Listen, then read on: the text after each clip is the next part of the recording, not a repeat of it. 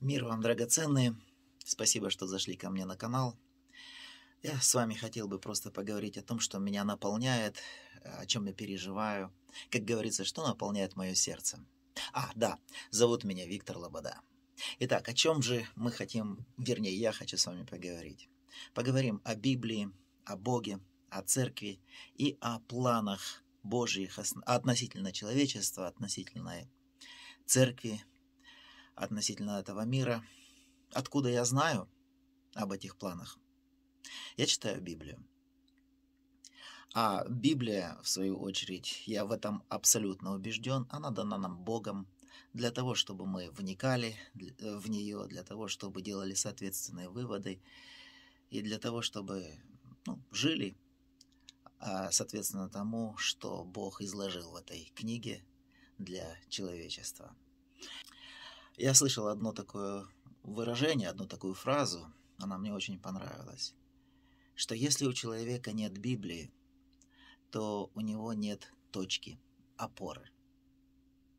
Дело в том, что человек, он так устроен, что ему обязательно нужно на что-то опираться – Человек всегда ищет, на что ему опереться. Он ищет мнения умных людей, он ищет э, философов каких-то, какие-то там умозаключения, и он базируется на этих мнениях. Там религии какие-то и так далее. То есть человек всегда ищет то, на что ему опереться, чтобы потом на основании этого эм, строить свою жизнь. И в течение истории возникало очень много разных имен. Ну, я могу привести несколько, там, допустим, Конфуций, да, Ницше, Ленин, Маркс, там, в других местах были, там, типа Мао Цзэдунов и прочие. Ну, то есть всегда-всегда были какие-то лидеры, которые о чем-то говорили, куда-то вели народ. Но вот смотрите, что пишет Библия. Смотрите, проклят человек, который надеется на человека и плоть делает своей опорой, и которого сердце удаляется от Господа. О чем здесь речь? Здесь речь о том, что э, доверять человеку не в том плане, чтобы ну, какую-то работу совершить, там, договориться о чем-то, чтобы что-то сделать. Не в этом плане. Э, главная мысль тут, что делает человека своей опорой, и сердце в результате удаляется от Господа. То есть здесь имеется в виду философия какая-то, которая уводит человека от Бога, которая заменяет Бога. И мы знаем печальные вот исторические такие моменты, ну, скажем, о Ленине, да. Знаем, что в конце своей жизни Ленин потерял рассудок, он разговаривал там с табуретками, со столами, э, ну, то есть полностью обезумевший человек. Этот человек взял идеи библейские, выкинул оттуда Бога и поставил другие идеи. Можно сказать, поставил себя на место Бога. И предложил людям изменяться, предложил людям свою философию. В результате сошел с ума. Бог поругаем не бывает. Человек этот сошел с ума, так что его пришлось пристрелить как собаку.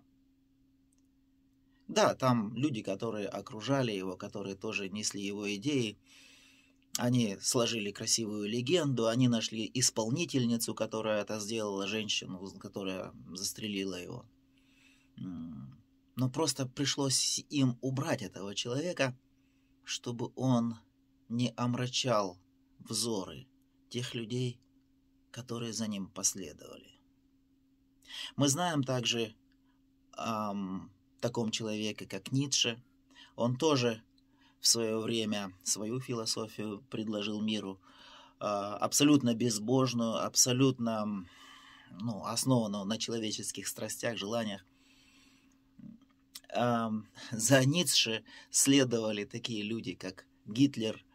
Он черпал свое вдохновение в нем. И тоже этот человек потерял рассудок под конец жизни. Он был в психиатрической больнице. Даже говорят, что его привязывали на цепь. Тоже как собаку. Мы знаем другие имена. Джон Леннон, например, тоже который возомнил, что он круче Бога, круче Иисуса Христа. Сегодня также э, всплывают разные имена, даже современные. Есть блогеры, которые э, набирают большие миллионные просмотры на своих видео, под своими видео, и они тоже являются своего рода каким-то мерилом, каким-то, какой-то точкой отчета для людей, которые за ними, за ними следуют. И э, они свое мнение предлагают людям, и люди идут за ними, э, строя свою жизнь, строя свое мышление на основании вот этих вот людей или на основании той философии которые предлагают эти люди. Так вот, люд... Библия нам четко, конкретно говорит, что человек, который основывает свое, свою, свою жизнь, свою жизнь базирует на э, какой-то человеческой философии, он проклят Богом, потому что он уходит от Бога и, ну, естественно, автоматически подводит себя под проклятие. То есть на человеческих мыслях, на человеческой философии, на человеческих каких-то вот таких вот а, учениях очень опасно строить свою жизнь. Это очень опасно. Потому что ты строишь свою жизнь, как сказал Иисус Христос, на песке – без фундамента. И дом, построенный таким образом, он обязательно развалится, обязательно потерпит крах. Библия – единственная книга, которая проверена временем, которая проверена тысячелетиями. Она должна являться тем фундаментом, той, той скалой, на которой можно строить потому что автор ее – всемогущий Бог, который сотворил небо и землю, сотворил нас с вами. И Он прекрасно знает, что нам нужно, тебе и мне, для того, чтобы нам просто жить. Сегодня я хочу вам предложить размышления э, на тему, которая многократно прописана в Писании – на тему того, как нам нужно жить друг с другом, как нам нужно сосуществовать а, в этом мире друг с другом. И эта тема, она многократно прописана в Писании, и вот такие вот слова или словосочетания друг с другом, друг другу, друг к другу и так далее, вот такие вот э, словосочетания, они очень часто встречаются в Писании. О чем это говорит? Это говорит о том, что наши отношения друг с другом, они очень важны для Бога. То есть для Бога очень важно, как мы относимся друг к другу, потому что наши отношения друг к другу определяют наше отношение к Богу. И в свою очередь наши отношения с Богом определяет наши отношения друг с другом. То есть это взаимосвязанные вещи. И очень важно, чтобы мы понимали эти вещи. А, смотрите, э, в Писании есть такие места, где говорится, что как вы послужили ближнему, это Христос говорит эм, в одной из своих притч, об овцах и козлах, если хотите. Христос говорит, что как, что вы сделали одному из малых сих, что вы сделали мне. То есть, послужив ближнему, мы служим Богу. И эта мысль многократно а, прослеживается в Писании, поэтому это очень серьезно. Если мы любим ближнего, если мы помогаем ближнему, если мы сострадаем ему, а, умеем радоваться вместе с ним, то это все Бог рассматривает как служение Ему самому, то есть Богу. И, соответственно, с другой стороны, если мы легко можем оскорблять, если мы легко грубим, если эм, идем на всякого рода обман или на конфликты э, с ближним, то это все опять же Господь рассматривает как наше отношение к Нему. помните, что вы сделали одному из малых сих, то вы сделали мне. Это Господь Иисус сказал. Поэтому нам нужно очень важно понять эту вещь и, соответственно, сделать выводы и ну, стараться поступать так, как Господу угодно. Это касается абсолютно всех наших отношений. Мужей и жен, родителей и детей, отношений с соседями, отношений э, с сослуживцами на работе, отношений в церкви, в конце концов, в обществе, где мы находимся. То есть это касается всех наших отношений с людьми. И сегодняшний текст, который я хочу прочитать, поделиться с вами, он записан в первом послании Фессалоникийцам, 5 глава, 15 а, стих. Написано так. «Смотрите, чтобы кто кому не воздавал злом за зло, но всегда ищите добра друг другу и всем». Опять вот это вот словосочетание «друг другу». Ищите добра и не воздавайте злом за зло. Опять же, друг другу. На первый взгляд, казалось бы, немножко такой неприятный текст. Многие не хотят соглашаться с этим текстом, даже христиане. Не воздавайте злом за зло. Ну как это, не воздавать? Ведь это же так классно, так приятно отомстить человеку. Не правда ли? Но когда тебе причинили зло, обиду, она вошла куда-то глубоко в сердце, и ты чувствуешь, там она печет, она раздражает, эта обида. И вот он, обидчик, ходит рядом с тобой, и тебе казалось бы, ну вот, что мне, я могу ему отомстить, я могу, имею такую возможность, как же не воспользоваться этой возможностью? То есть Получается, что Господь забирает у нас такое удовольствие, такое, чтобы нам порадоваться. Такую радость забирает у нас. Э, мщение, отомщение. Э, и это желание, оно базируется на чувстве справедливости, которое заложено в каждом из нас. Больше того, я скажу, что это чувство справедливости, оно присуще Богу. И именно Бог заложил в нас это чувство. Именно Бог автор этого. И даже в Ветхом Завете он прописывал такие вещи, как зуб за зуб, око за око, да, глаз за глаз, за глаз. Вот. Ну, то есть, это Господнее правило воздавать человеку за его, а, ну, грехи, да, будем таким словом а, выражаться библейским. То есть, Бог вложил в нас это чувство – и это нормальное чувство. Чувство справедливости – это божественное чувство, и Бог вложил в нас это чувство, и это чувство, оно нормальное. Однако почему?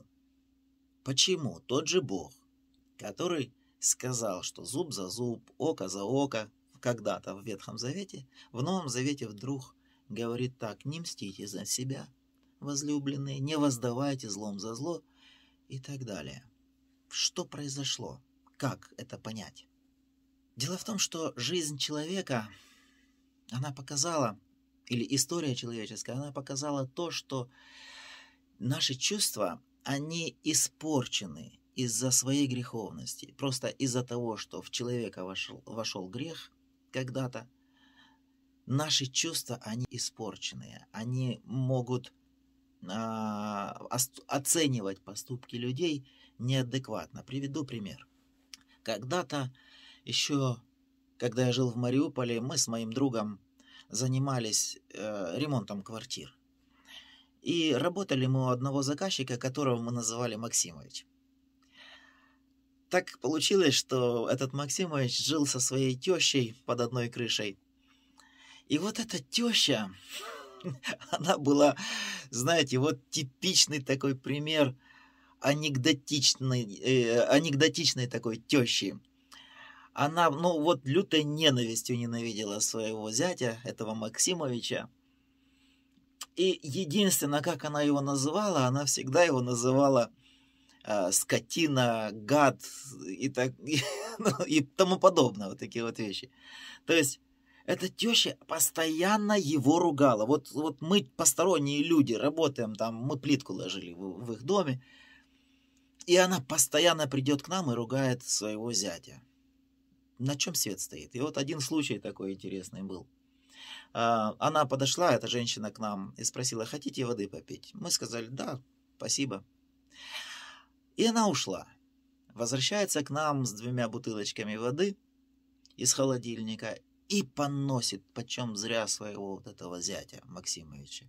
И говорит, представляете, этот скотина, он поставил бутылки в дальний холодильник, чтобы мне больше ходить.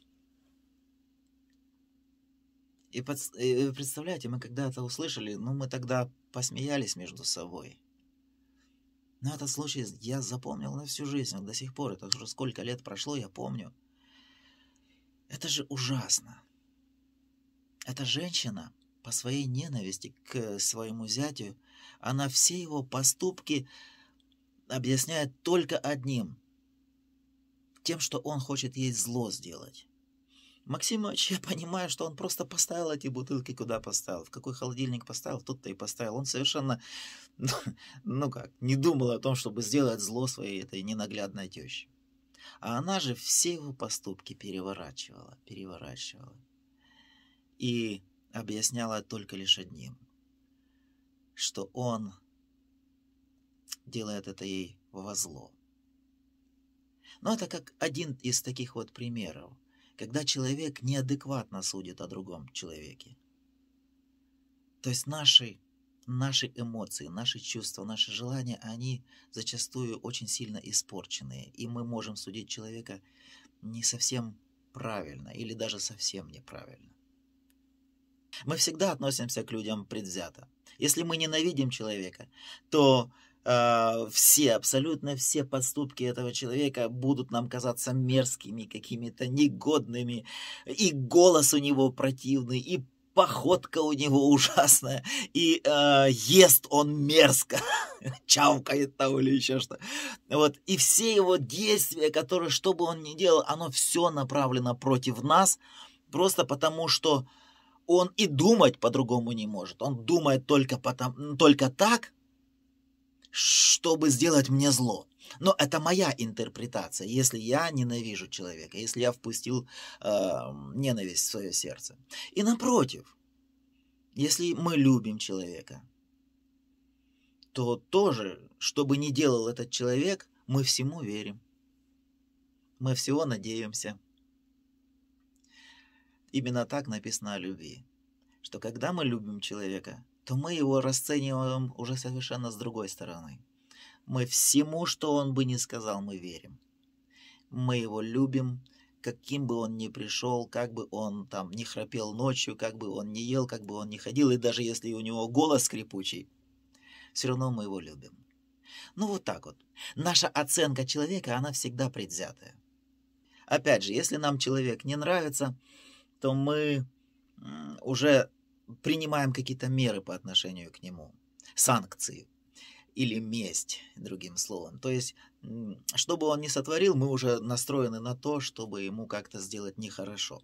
Даже ученики Иисуса Христа, помните, они как хотели отомстить а, самарянам, которые не приняли их. Они так и сказали Иисусу, давай сведем с неба огонь и попалим этих людей негодных, негодяев. Давайте прочитаем это место. Очень интересное. А, это записано в Евангелии Луки, 9 глава, с 52 стиха. Иисус послал вестников пред лицом своим, и они пошли и вошли в селение Самарянское, чтобы приготовить для него. Но там не приняли его, потому что он имел вид путешествующего в Иерусалим. Видя то, ученики его, Иаков и Иоанн, сказали, Господи, хочешь ли, мы скажем, чтобы огонь сошел с неба и истребил их, как и Илья сделал? Но он, обратившись к ним, запретил им и сказал, не знаете, какого вы духа. За что самаряне не пустили этих людей к себе в селение, как написано? И вот прямо из текста читаем, что «потому что они имели вид идущих в Иерусалим». То есть они были похожи на иудеев, на соседнее э, государство, если так можно сказать. Вот. А мы знаем из истории, что самаряне с иудеями не сообщались. Э, э, они не любили друг друга, если так мягко очень сказать, очень корректно. То есть у них были очень-очень напряженные отношения, очень такие вот нехорошие отношения. Мы знаем из Писания, что иудеи называли самарян псами. Я уверен, что и у самарян в свою очередь тоже находились какие-то сочные слова для того, чтобы как-то охарактеризовать этих вот иудеев. То есть они ненавидели друг друга, хотя это и были братские народы. И они разговаривали на одном языке. Но вместе с тем они не терпели друг друга. Они друг друга ненавидели. Понятно, что вот эта вот сложившаяся ситуация а, между самарянами и иудеями, она наложила отпечаток даже на учеников Иисуса Христа, которые были, вот скажем, ну, галилеяне, да, мы знаем, ну, то есть они вот э, больше принадлежали к иудеям. И у этих людей было к самарянам, в свою очередь, тоже предвзятое отношение, сложившееся годами. А, и именно вот это вот отношение, оно сработало. И оно подогрело вот это вот э, все чувства. Вот нас не пустили, как они посмели, мы же хорошие. Ну, знаете, они же не знали, самаряне, что с ними Иисус, который действительно был хороший, который нес с собой мир и э, доброе учение, исцеление, в конце концов, накормление. Он мог накормить э, много людей и так далее. То есть Самаряне этого ничего не подозревали, и они просто вот так вот поступили. То есть этих хороших людей они не пустили, ну а дальше по накатке. Все эти чувства взбурлили, взбурлили, и можно представить себе, что мы всегда говорили, что это самаряне, они собаки, они псы и так далее.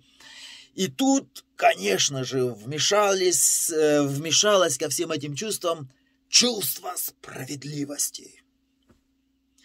По справедливости за моральный ущерб нужно наказать этих негодных самарян. Давай мы сожжем их огнем. И они смотрят на Иисуса, еще приводят даже текст, э, текст из Писания, как мы сегодня бы сказали. Помнишь, как Илья сделал? Вот это вот, когда они привели в пример Илью, это такой, знаете, образец, как можно Писание подставлять под свои хотелки. Не не беря во внимание контекст, почему Илья тогда так поступал, не беря во внимание ситуацию и так далее. Просто Илья так сделал, и мы так сделаем. И вот такие вот вещи происходят в жизни людей. Месть человеческая, она не всегда праведная в глазах Божьих. Не всегда праведная. И Иисус говорит, не знаете, какого вы духа. Дело в том, что только Бог знает наши мотивы. Только Бог знает, какой дух руководит нами, когда мы совершаем тот или иной поступок. И в этом благо. В этом благо. Потому что Бог, Он будет людей судить, я бы сказал, даже не так за их дела, как за их мотивы. Как за те мотивы, за те мысли, которые побудили э, человека сделать то или другое. Вы знаете, что поступки могут быть разными. Поступок может быть не очень хороший на первый взгляд, но почему человек так поступил? Бог знает. С другой стороны, поступок может быть очень красивый. Но почему человек сделал этот красивый поступок? Бог знает. Может быть, там он ради своего собственного эго это сделал. Для того, чтобы его хвалили. Для того, чтобы, ну, как депутаты делают, да, чтобы как выборы пройти, вы, выиграть. Вот, и так далее. То есть поступки могут быть разными, да, э, может быть не очень хорошими, а может быть даже и очень красивыми. но Бог знает мотивы. Давайте прочитаем, что пишет об этом э, апостол Павел э, в послании к евреям, 4 глава, с 12 стиха. «Ибо Слово Божие живо и действенно, и острее всякого меча обоюда острова. Оно проникает до разделения души и духа, составов и мозгов и судит помышления и намерения сердечные. И нет твари, сокровенной от него, но все обнажено и открыто пред очами его. Ему дадим отчет. Ему дадим отчет. Смотрите, мы знаем, что Иисус сказал, что Слово Мое будет судить людей, будет судить этот мир – и вот смотрите, здесь э, в послании к евреям то же самое говорится, что Слово Божие, оно проникает до разделения души и духа. Что это значит? Я когда-то не понимал этого текста, но э, Господь открыл мне. Смотрите, что э, мы в Писании видим, что есть дела душевные, они же называются делами плотскими, и они же называются бесовскими – Почему?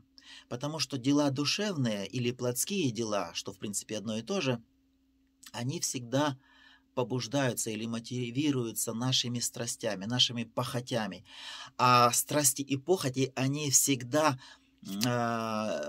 ну, как бы возбуждаются бесами.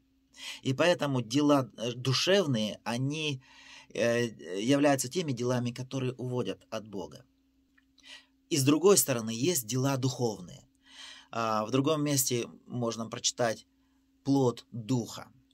То есть человек, который вникает в Слово Божие, живет в согласии с э, божественными истинами, с его рекомендациями, как нам правильно жить, он имеет в себе Духа Святого. И Дух Святой руководит этим человеком, и таким образом он исполняет а, или совершает дела духовные. То есть как дела душевные совершаются самим человеком, так и дела духовные совершаются, или плод Духа совершается человеком, благодаря воздействию Духа Святого. Вот. И Слово Божие, оно проникает до разделения души и духа, то есть до понимания того, что, что хорошо и что плохо. То есть духовный человек, исполняющий волю Божью, он, как написано, судит обо всем в другом месте так написано, что он имеет божественный ум, то есть он имеет ум Христов, потому что он вникает в Слово Божие, он знает волю Божию и, соответственно, поступает. И это Слово, э, входя в человека, оно разделяет вот эти понятия, то есть дает нам понимание, где есть душевное, а где есть духовное. И слава Богу, что мы прочитали, что Он точно знает, чем мы руководствуемся своей жизни. Кстати, к этой же мысли я хочу добавить вот, вот какой текст. Смотрите. 1 а, Коринфянам 3 глава с 11 стиха написано как. «Ибо никто не может положить другого основания, кроме положенного, которое есть Иисус Христос». То есть, кроме Иисуса Христа, другого основания у человека верующего быть не, можно, не может. Дальше. Строит ли кто на этом основании из золота, серебра, драгоценных камней, дерева, сена, соломы? Каждого дела обнаружится, ибо день покажет, потому что в огне открывается, и Господь испытывает дело каждого, каково оно есть. У кого дело, которое он строил, устоит, тот получит награду. А у кого дело сгорит, тот потерпит урон. Впрочем, сам спасется, но так, как бы из огня. Смотрите, вот этот вот текст, он немножко сложный для понимания, поэтому некоторые люди, которые проповедуют такое, такое Евангелие, ничего не делание. И вот они говорят, что дела не важны перед Богом, а, потому что человек по-любому спасается. Но вот смотрите, давайте обратим внимание на 12 стих и на 13. Первое слово стоит «строит ли кто?». И дальше в 13 стихе, стихе написано «каждого дела обнаружено, а, обнаружится». То есть были дела у этих людей, они не сидели сложа руки, они не говорили, что да, я по-любому спасусь. Они строили, они работали, они что-то делали и на основании Иисуса Христа, который был базой для, для их строительства. А, смотрите, по поводу дел, я просто продолжу мысль. Иисус э, говорит, если мы прочитаем в книге Откровения, он к каждой церкви обращается такими словами «Знаю твои дела». «Знаю твои дела». И шесть раз, по-моему, так было. «Знаю твои дела». И в, то, э, в том числе он обратился к Лаодикийской церкви. И вот он говорит такие вещи. Иисус. К Лаодикийской церкви. Это третья глава Откровения, 15 и 16 стихи. «Знаю твои дела. Ты не холоден, не горяч. О, если бы ты был холоден или горяч, но как ты тепл, а не горячий, не холоден, то извергну тебя из уст моих. Но это тоже как бы к вопросу о спасении. Можно ли потерять спасение? Легко. Просто ничего не делай. Знаю твои дела. Бог ожидает от нас плодов.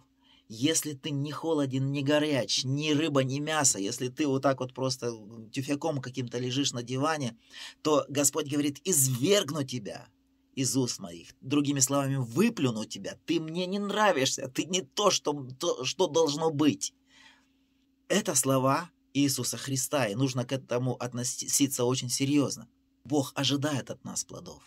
Бог ожидает от нас плодов. И, этому, э, и это подтверждают очень многие притчи, которые говорил Иисус. Например, притча о э, талантах, притча о мине, о минах, притча о виноградной лозе, притча о посеянном на поле. И всякий раз, где человек ничего не принес, да, ну, допустим, про таланты или про мины, там приблизительно сходные мысли, люди трудились, что-то принесли для Бога, и он, э, Иисус говорит, что войдите в радость Господина вашего. А тот, который ничего не делал, тот был извержен вон, так как и Иисус сказал Лаодикийской церкви, извергну тебя из уст моих. То есть извергнется тот человек, который ничего не делал для Царства Небесного. А, если этого недостаточно, приведу пример а, виноградной лозе, тоже знакомая, да, читающие Библию знают, о чем я говорю. А, виноградная лоза имеет на себе ветки, которыми являемся мы с вами. И ту ветку, которая не приносит плод, хозяин что делает? Отрезает и бросает в огонь.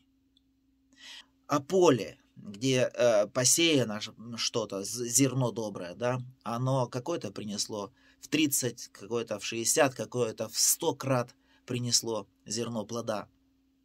А та земля, которая не принесла плода, она близка к проклятию. Это тоже слова Христа.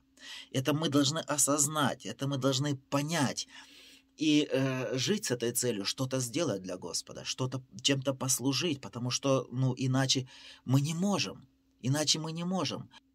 Так да светит свет ваш пред людьми, чтобы они видели ваши добрые дела. Тоже помните, наверное, если вы читаете Писание. То есть Господь ожидает от нас дел. Он не хочет, чтобы мы были праздными ленивыми. К сожалению, на сегодняшний день очень сильно получила популярность вот эта вот теория а, ничего не делания. Господь э, нас и так любит, и так спасет, даже без дел. И иногда приводят тот текст, который я только что прочитал. Смотрите, что если дело сгорит, то человек все равно спасется как бы из огня. Но обратите внимание, еще раз я говорю, а, то, то место, где мы прочитали, что в 12 стихе написано «строит», а в 13 стихе «дело обнаружится». То есть дела эти люди делали, они не сидели сложа руки, и поэтому они спасутся. И вот здесь как раз и есть милость Божия, потому что Он знает порывы нашего сердца. Он знает нашу внутреннюю сущность, нашу искренность. И Он видит наши дела, что мы стараемся, что-то делаем. Возможно, наши дела ну, не совсем нужны, э, может быть, для Царства Небесного. Однако Господь знает, что мы старались. И старались искренне. И старались, исходя из того, что мы любим Господа мы строили на Иисусе Христе. Пусть, может быть, не то строили, Пусть, может быть, мы сго... все, на все, что мы делали, оно сгорит. Но наша любовь, наша искренность, наше служение Богу, оно слишком дорого для нашего Господа. И поэтому Он нас спасает. Пусть Он нам награду не даст, но Он спасает просто потому, что видит, что мы искренни в своих делах. И именно поэтому этот текст относится именно к этим вещам, к этим людям, которые что-то делали, пусть не так, но они спасаются. Не к тем людям, которые вообще ничего не делали. Тем, э, к, с теми людьми, которые ничего не делали, с ними у Господа другой разговор. Они будут извержены, выплюнуты, отторжены во тьму внешнюю. Давайте это будем помнить и иметь в виду постоянно в своей жизни. И возвращаясь к нашей теме, хочу сказать, что наше служение Богу, оно заключается в нашем служении к ближним, в нашем служении ближним. И наше служение ближним, оно должно основываться на любви. Оно должно основываться на любви.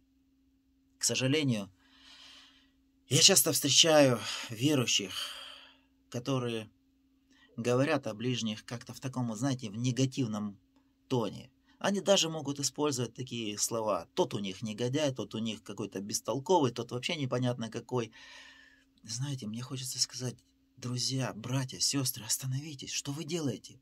Вы на ближних своих говорите гадости. Вы на ближних своих позволяете говорить вот такие вещи, которые совершенно недопустимы в нашем лексиконе.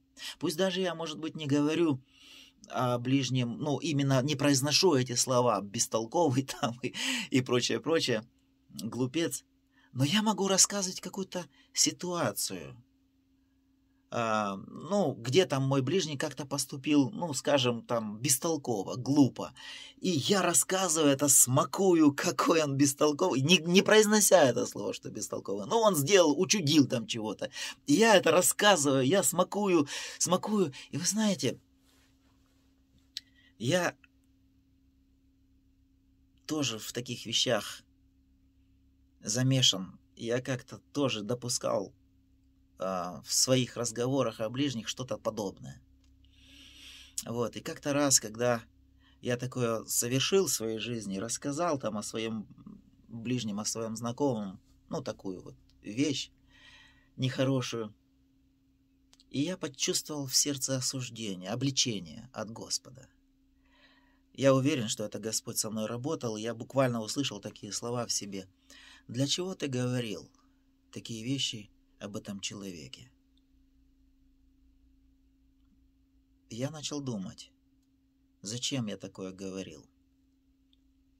И знаете, такой вот, такая мысль мне пришла, что я в этот момент говорил ведь не совсем о том человеке, а я говорил о себе. Я говорил о себе, о том, какой я умный по сравнению с ним, о том, какой я ну, ну, не знаю, догадливый, талантливый или, или еще что. То есть, говоря о ближнем вот в таком духе, в такие, э, такие вот вещи, я просто себя поднимаю на ступенечку, на две, на три, на четыре, на пять ступенечек выше, чем мой ближний. Понимаете суть? И я тогда остановился и думаю, Господи, прости. Прости, нельзя так делать. Нельзя ближних выставлять в таком свете. Это не любовь. Вернее, это любовь, но к себе. Самоутверждение. Еще, знаете, если ты там потом подкрепишь свои слова такими, такими вот словами, что «а я ему говорил», о, вот это вообще бомба, вот это вообще, знаете, разрыв. Я ему сказал, а он... Или там, а я вот так и думал, что так получится. Ну и в таком же роде. То есть ты понимаешь, что вот этот бестолковый человек, а я вот что-то там ему сказал. Причем, может быть, я и сказал там, знаете, так, негромко. Не очень, не очень это можно было услышать. Так, крякнул где-то между делом. Вот, и вдруг получилось именно так, как ты сказал, как я сказал. И вот здесь вот триумф, вот здесь вот как раз бомба, я вот здесь вот как раз могу поставить свою жирную точку. Я ему говорил, а он бестолковый. А вы замечали за собой подобные вещи? Если не замечали, то там два варианта. Либо вы ангелы Божии, которые не грешите, либо вы просто слепые – которые не понимаете, что делаете. Поэтому давайте мы просто будем внимательны к своим поступкам, к своим чувствам, к своим, а, а, к своему отношению к ближним. Потому что это касается наших отношений с Богом. К чему я это все говорю? Возвращаясь опять же к чувству справедливости, к чувству э, желание воздать злом за зло или там отомстить как-то, да. Смотрите, мы уже говорили о том, что чувство справедливости – это божественное чувство, которое Господь вложил в нас, в людей, когда нас творил и делал нас подобными себе. Господь вложил в нас это чувство, но в силу грехопадения, в силу того, что мы стали испорчены, это чувство у нас приобрело нехорошие формы. А, предвзятые формы. И мы можем даже объяснять, ну, допустим, свою зависть. Вот я завидую кому-то, да, но я не признаю себе в том, что я завидую, а объясняю это чувством справедливости. Или, допустим, я хочу, ну, скажем, присвоить себе, что мне не принадлежит. У, украсть, да, будем так говорить. И я тоже могу себе объяснять это вот чувство, что я не, не вор там какой-то, а просто вот, вот у меня чувство справедливости. У меня нет настолько э, не так хорошо обеспеченная жизнь, как у этого человека. У него не убудет, а у меня хоть что-то там да прибавится. То есть опять чувство справедливости. Мы объясняем, вернее, себе, что это чувство справедливости, что это будет справедливость. Но почему-то наша справедливость, она всегда работает в одну сторону – то есть я себя вижу обиженным, я себя вижу обделенным, я себя вижу вот каким-то, может быть, угнетенным. И, э, соответственно, я хочу как-то отомстить, как-то воздать, как-то приобрести то, что мне не принадлежит и тому подобное. То есть вот так вот э, интерпретируем мы справедливость в силу своей испорченности. И именно поэтому видя нашу вот эту испорченность, видя то, что в борьбе за справедливость мы можем наломать дров, мы можем натворить чего-то нехорошего, Писание говорит нам, Римлянам 12 глава, 19 стих, «Не мстите за себя, возлюбленные, но дайте место гневу Божию, ибо написано, «Мне отмщение, я воздам», говорит Господь. Здесь я хочу привести такой пример. Я его слышал от э, одного проповедника, которого я уважаю, это Игорь Азанов. Он говорил такую вещь. Не помню дословно, но я интерпретирую по-своему. Представьте себе, что вам кто-то сделал зло. Но у вас есть очень хороший друг. Вы знакомы с главным судьей города, от которого зависит казнить или помиловать. И вот этот друг, он не просто так, что вы его знаете немножечко как-то на расстоянии. Нет, он ваш личный друг, с которым вы ездите на природу, с которым вы общаетесь, день рождения отмечаете, шашлыки вместе едите. Ну, то есть такой вот, вот закадычный друг, которого вы хорошо знаете. А, и а, при случае вы с ним встретились и рассказали за свою обиду о том, что кто-то вас обидел, что-то вам сделал нехорошо. И вдруг этот судья ваш друг, он говорит такие вещи. Знаешь что, дружище, не переживай, не беспокойся, твоя беда – это моя беда, я ее беру на себя, и я все порешаю. То есть можешь заниматься своей жизнью, своими делами, э, не переживай, даже аппетит не теряй. Э, я займусь твоей, твоей проблемой, твоим делом. Как вы думаете, какая правильная реакция будет ваша, если вот это вот случилось в вашей жизни? Вот у вас знакомый друг хороший, да, который может все порешать. который сказал вам эти слова, ну, правильная реакция, естественная реакция, это просто действительно сделать так, как он сказал. Жить своей жизнью, заниматься своими там э, делами, аппетит не терять, не думать, уже забыть, просто оставить этого нехорошего человека, который сделал вам зло. Потому что судья а, вашего города пообещал, что он разберется с этим нехорошим человеком. А теперь представьте себе такую картину.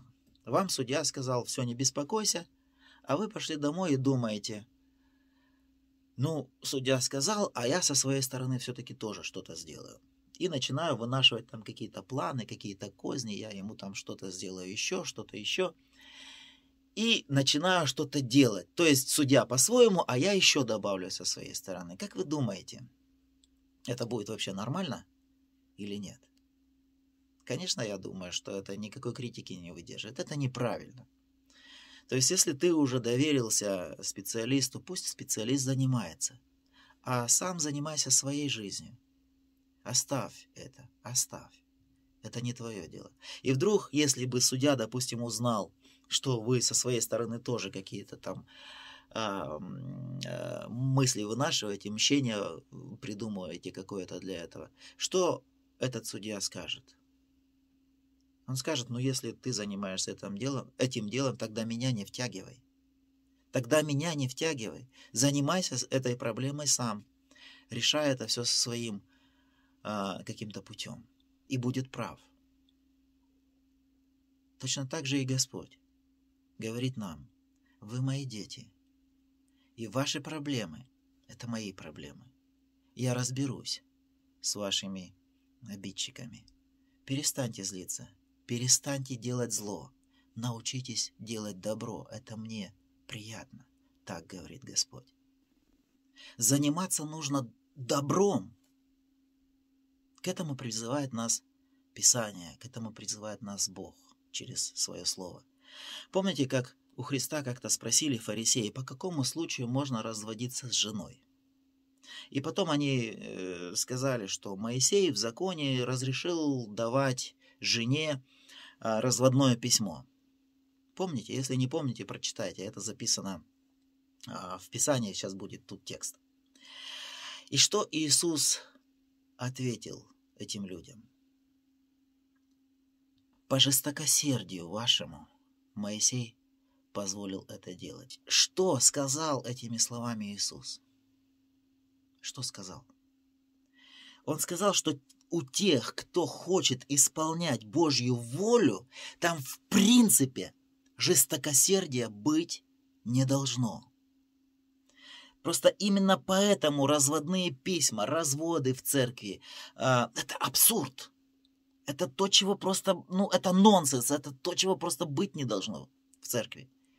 Потому что если есть развод, если есть вот подобные вещи, это значит, вы не носители Божьего Духа.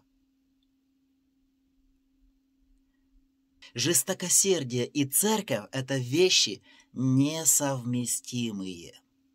Их просто не должно быть в церкви. Именно это имел в виду Христос, когда отвечал фарисеям по поводу разводного письма. «Служите друг другу любовью, не воздавайте злом за зло, и в этом всем есть служение Богу». В этом всем есть служение Богу. У одного голливудского сценариста спросили, что самое главное или самое сложное в написании сценария. И он ответил так. Самое сложное, самое главное – это продумать конец. Друзья, я хочу вас ободрить. Бог уже давным-давно продумал концовку. И ничто не сможет воспрепятствовать Богу завершить все начатое до конца. Господь все сделает так, как Он прописал в Своем Слове. А хотите знать, какая концовка? Читаю. Вот она. Деяния, 17 глава, 31 стих. «Ибо Он, Бог, назначил день, в который будет праведно судить Вселенную, посредством предопределенного им мужа, подав удостоверение всем, воскресив его из мертвых. А мы с вами знаем, кто этот муж. Это Иисус Христос, который держит нас в своих руках, который сказал, что никогда нас не оставит, и который ожидает от нас плодов всего того, о чем мы только что рассуждали. Поэтому наша задача – это просто довериться Ему и не роптать, и творить добро. Да благословит нас всех Господь и поможет нам.